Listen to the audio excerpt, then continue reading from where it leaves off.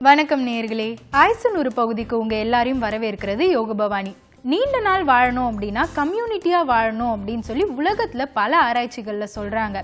சாலிபியரும் அவங்களோட புத்தகத்துல இந்த கம்யூனிட்டி லிவிங் பத்தி சொல்லியிருக்காங்க. Be part of something bigger then yourself அப்படின்னு சொல்கிறாங்க அதாவது ஒரு மனிதன் தன்னை விட பெரியதாக ஒரு விஷயத்தில் அங்கமாக இருக்கணும் அப்படின்னு சொல்கிறாங்க சுயநலமாக இருக்கிறது அப்படி இல்லைன்னா தனிமையை விரும்பி இருக்கிறது அப்படின்றது எப்பவுமே வந்து நீண்ட நாளுக்கான வாழ்க்கையை தராது அப்படின்னு சொல்கிறாங்க நீண்ட நாள் வாழ்ந்த மக்களும் சமூகமாக நிறைய மக்களை தன்னோட ஒன்று சேர்த்து வாழ்ந்தவங்க அப்படின்னு பல ஆராய்ச்சிகளில் வந்து கண்டுபிடிச்சிருக்காங்க.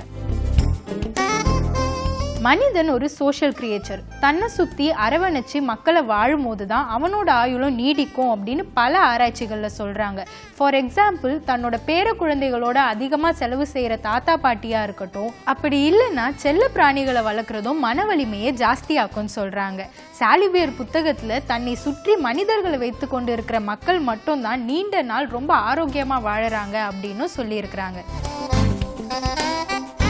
சாலிபியர் தன்னோட புத்தகத்தில் இன்னொரு சுவாரஸ்யமான விஷயமும் சொல்லியிருக்காங்க. திருமணம் ஆகாதவங்களை விட திருமணம் ஆனவங்க தான் நீண்ட நாள் ரொம்ப ஆரோக்கியமாக வாழ்ந்துருக்கிறாங்க அப்படின்னு அவங்க ஆராய்ச்சியில் சொல்லியிருக்கிறாங்க. அதாவது திருமணம் ஆனவங்களுக்கு தான் மன வலிமை மற்றும் மென்டல் ஹெல்த் ரொம்ப பேலன்ஸ்டாக இருக்கும்னு சொல்கிறாங்க அப்படி திருமணம் ஆகலைன்னா ஏதாவது ஒரு செல்ல பிராணியை வளர்க்குறது ரொம்பவே அவசியமான விஷயம்னு சொல்கிறாங்க முக்கியமாக மனிதர்களோட மென்டல் ஹெல்த்தை பேலன்ஸ்டாக வைக்கிறது நாய்க்குட்டிகள். நாய்க்குட்டிகள் வளர்க்குறது ரொம்பவே நல்ல விஷயம் நம்மளோட ஆயுளுக்குன்னு சொல்றாங்க.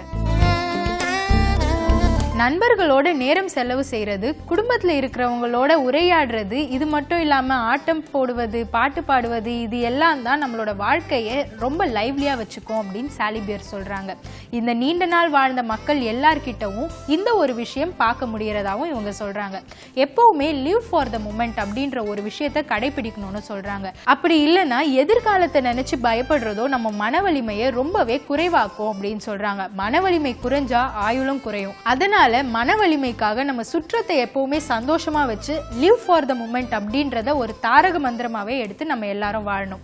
நாளைக்கு நம்ம ஆயுசு நூறு பகுதியில் வேற ஒரு சுவாரஸ்யமான தகவலை பார்க்கலாம். நன்றி.